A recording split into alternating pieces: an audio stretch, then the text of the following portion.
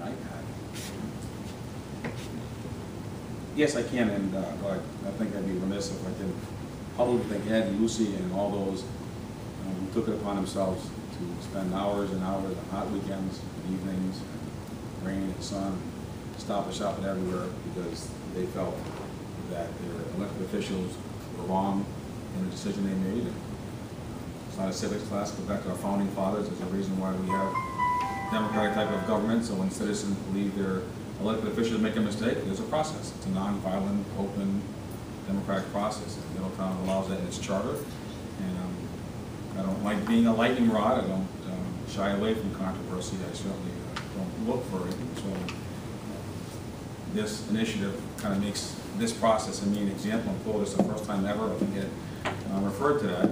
Um, So to that end, I I think it really just goes to the, you know, our foundation of community policing here in Middletown. I think the relationships that my and this department has built over the last uh, three or four years since I've been here, and the last uh, now 26 months as acting chief, uh, just goes to the fact that you know, you don't form relationships when there's an event. You form relationships when you want them, so when you need them, you're there. I didn't ask for this.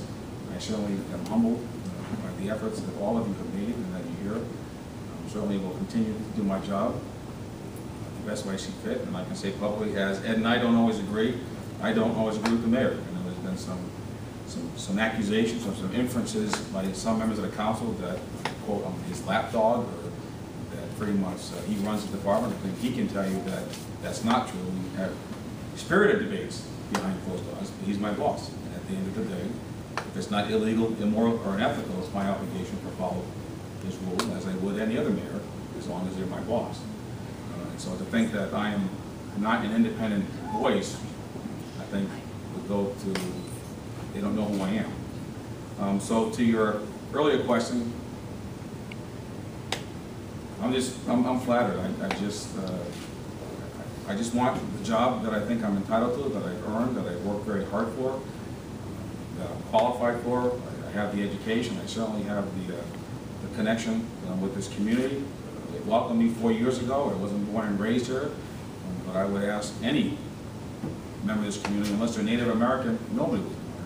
Their families came from somewhere, which makes Middletown great. It's very eclectic, it's very metropolitan. What makes it great is because it's so welcoming and so diverse. That's what drew me to this department, very diverse.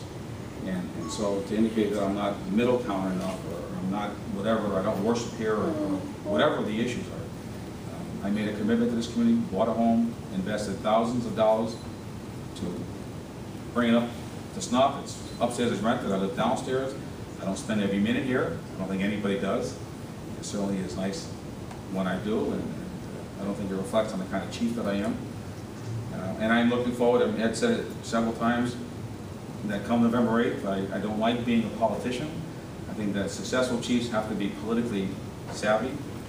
We don't run for office. We're supposed to be neutral. We're supposed to be on, that's what the position of chiefs are. That's why they got rid of the old sheriffs way back when, to get the politics out of policing. And so now, because of necessity, I guess I have to run. So to answer your question, I can be involved from here on out. I will be involved if anybody wants me to. I'll be happy to answer any question, any interview, um, explain whatever I need to from now till then. As Ed explained, um, we certainly wanted to remove any question of impropriety or intimidation because I am a police officer and we would want citizens um, accusing me or others of intimidating. It happened uh, just uh, recently with a uh, primary candidate trying to get some signatures when the- and the mayor was accused of whatever because he stopped to say hello while they were collecting signatures. And certainly as a police chief, um, I didn't want to sully or cause any angst for the group who worked so hard. I will tell you, I attended some meetings to say thank you. I enjoyed the cookies they had at their, um, at their meetings, their, their hospitality. I just am am flattered that a group, and the thousands of people who signed it, so it wasn't just three or four or five, or the North Enders who were accused, which is where I live, the last confirmation hearing, that they only came from one part of town, and really, I think the inference was that they weren't really that important.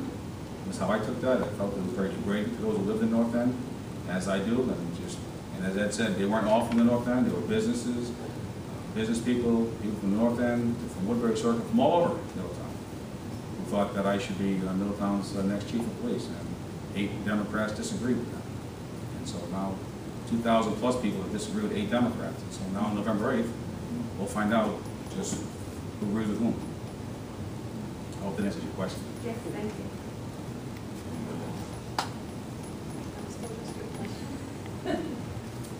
All right, thank you all for coming I appreciate it. And thanks again to everybody who collected signatures. Um, It was a lot of hard work and um, you guys did a great job.